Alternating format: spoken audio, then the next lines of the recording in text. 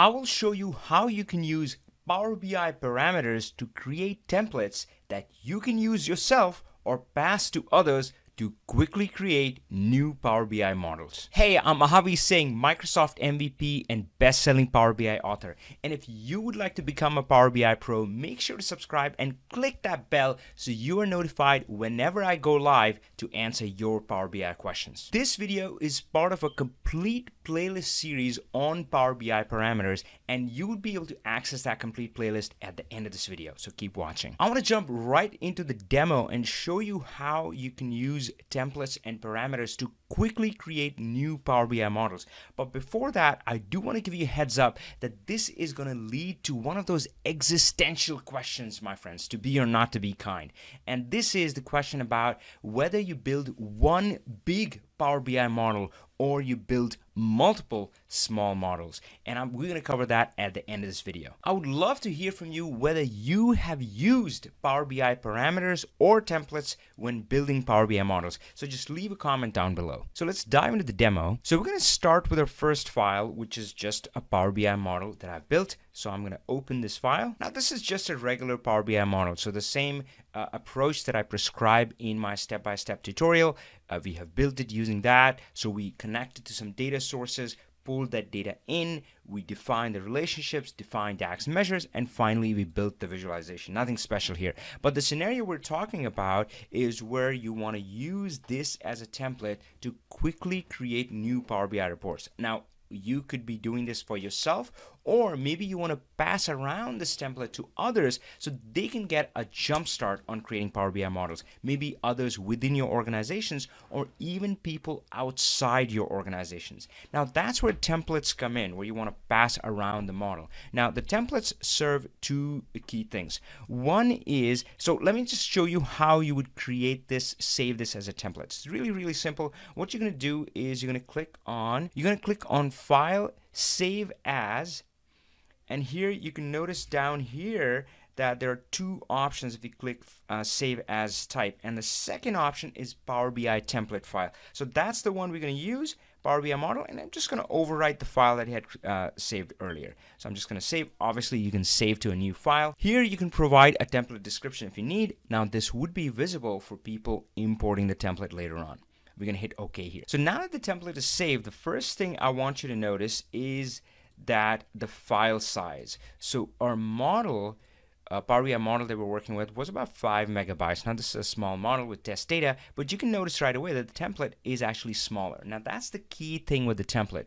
The template stores the metadata. It does not store the data inside the file. So if the file contained uh, whatever data uh, you see here, none of that data is stored back in the template. Now that has two advantages. Number one is that it keeps the file size small. So even if you have a very, very large Power BI model, I don't know, 250 megabytes larger, gosh, you can still pass around a template pretty easily. You can keep it, uh, keep it to yourself, email it to anybody else, right? So it keeps the file size small. Now another benefit is even bigger, which is you can still use templates even if you have sensitive data, even if you're sharing it with somebody outside of your organization, because you know that no data is actually being saved as part of the file. So if you have your uh, sensitive sales data or, I don't know, social security numbers or anything like that, none of that would be actually stored only the the metadata. What do I mean by that? So it's going to store the structure of the tables, the field names, the DAX measures,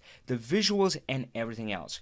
So then how would these people actually use the template? Let's take a look. So now let's say I am the recipient of the template. Maybe you send this template to me. I may be within your organization, outside of your organizations. Well, what I'm going to do is simply just open this Power BI template. What opening this file does is Power BI attempts to create the Power BI uh, model file based on that. So it just goes to whatever the, the data sources were and tries to load that data. Now, of course, if let's say you're within the same organization, you have access to the same files, and the files you want to use are actually in the same location, then this could work. I mean, they would just connect back to the same source and it will just load the data and they would be good to go. You notice that it just created the file and now this is my new file. You can tell by the title, this is what I imported from the template and I can save it to my own folder, own locations. This is something you gave to me and uh, I essentially recreated it, kind of like uh, I'm thinking of dehydrated food packs where you just add water, right? So instead of adding water, this just adds data.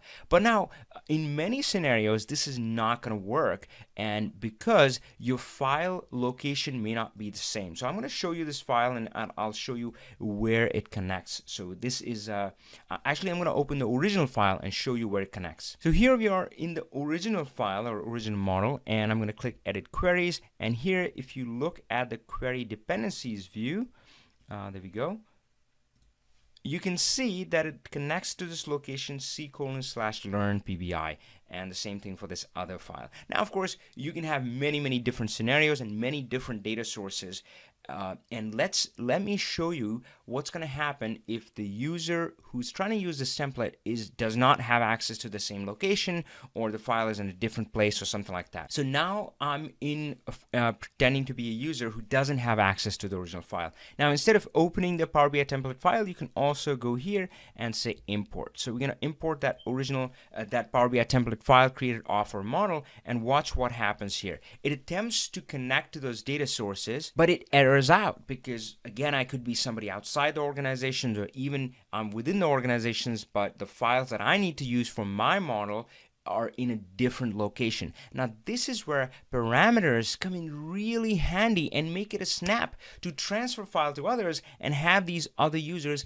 easily change that one setting to point to the files locations or server locations that they need to use. So now I have opened the other file that I had in my uh, folder. Power BI is the same file except it uses parameters. Now, by the way, quick note, uh, any file in in any of these videos, you can download from learnpowerbi.com slash download. Now, the only thing that we have changed in this file is we have created some parameters. Now, we have covered that in the playlist and you can access that playlist by clicking on the link uh, at the top or down in the description and that's going to uh, give you access to the complete playlist on Power BI parameters where I cover that in extensive detail. So here we have specified the parameters. Let me just fix this for one second and come back to you. So in the original file we were directly referencing the location of the folder. In this file we have created a parameter. So uh, as you can see, we have a folder location parameter, and right now it does default to the same location that we had originally. So I am the author, and my files are at this location, and it, this parameter is referenced in other ones. So let's see. As you can see in this query dependencies view, that both of these these sources are are connected to my parameter folder location, and you can examine the file to see exactly how I have done that. So now let's see that if I save this file as a template, then what is the behavior? So again, the step you're going to take from here is exactly the same. You have the same model. The only difference is you have used parameters to reference, in this case, the folder locations, but you can use parameters to reference anything in the world. You can reference a server name, a port number, whatever you want. Whatever points you, lets you change the data set and make it point to a different location. And again, you would do save as, and uh, I already have this file saved, so we're going to leave that. And now let's see what happens when I use this new template with the parameters defined. So this is my template with the parameters. I'm going to open this and let's see how this behaves. So notice now that instead of just going by default to the folder location that I had I pointed, uh, I as an author had pointed the locations to, now this is somebody, uh, I'm now in, in person two, somebody who uh, you know, uh, who was sent this template. So now when I, as a recipient, open this for the first time, it doesn't assume that all my folder location server names are going to be the same. It's going to ask me that, hey, uh, you're all trying to open this template, but maybe your files are in a different location. So here, I'm going to go ahead and uh, instead of learn PBI, I'm going to point to a different path name, learn Power BI, and and now it's going to point go to that location for me and load the complete data and give me that quick start on the Power BI model. So I use that template to create recreate my own model, but was able to point it to my um, uh, my where my data resided by use of the parameters. You can see that it loaded all the data from the new location and now we're good to go. Now that you've seen how you can use parameters and templates to quickly create multiple models, now this leads us to that question we talked about, which is whether you create one big Power BI model or create multiple smaller models. Now, uh, there are pros and cons to both approaches, so let's cover a few of them. Now, the first thing we're going to look at is the speed of development. Now, clearly here, the the multiple models has an advantage. So this is the scenario where let's say you're building multiple models for different audiences. Maybe uh, you're a Power BI model author, Power BI developer, and you have the sales team talking to you, the marketing team talking to you, and, and operations and everybody else, and you just build separate models for them to keep things clean for you. If sales comes to you, you open their model and add whatever changes they need, and it's quick and easy, and you can just focus on them. And so similarly for the other models. Now, if you combine all the model into one and try to serve that all the audiences with that single model, what's going to happen is sales comes to you and they want a quick change. You're going to have to say, huh, well, I know that makes sense for sales, but maybe that scenario, whatever they're asking for a change, maybe something in the calendar table or something even something minor, something big, uh, you would have to think about how does it impact all of your other customers. And that inevitably slows down development. You have to be more methodical. You have to have a, a, more formal approach. Maybe you do change requests and so on and so forth right? So it, it's it's a little slow methodical. But this approach also has a, big advantage and which is when it comes to scaling. Now think about what happens down the line when you have been operating in this in this uh, uh, scenario of multiple models for a while. Now, what's going to happen is that even though you may have a template that you base all of your models on, the models are going to diverge from that. So sales is going to come up with their own requests, marketing operations are going to come up with their own requests. So over time, those models will look very different. Now, what that's going to mean is that it's going to be really hard for you to keep them maintained. If you make uh, one change in, let's say, the calendar table, now you have to repeat that change in all of the models. Like, oh yeah, that field will be nice. Oh, or if you made a mistake somewhere, and it's like, oh my gosh, I made a mistake, and I'm going to stick with the calendar table example. You have to fix it not just in one, but all the multiple models you have created. Now, of course, sometimes people create multiple models for quick analysis. And if it's a throwaway analysis, you're never going to look at it again, that's fine. But if it's something you need to revisit, if you end up with 3, 10, 20, 50 models, it gets crazy really fast. And that's where the one big model has an advantage. So it's slow and methodical, but over time, whatever changes you make to the single model uh, you're not going to have to repeat it. You're not going to have to worry about um, repeating it in multiple places or whether it's going to be consistent in all of those places. It's all going to be in one place.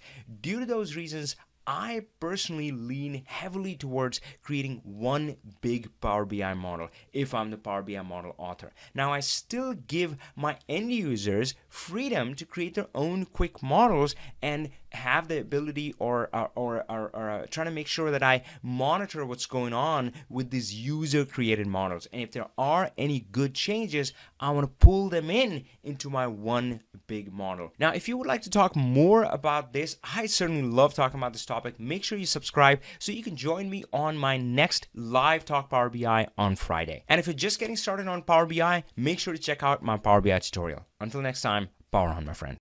Hey, keep watching more videos and keep learning Power BI.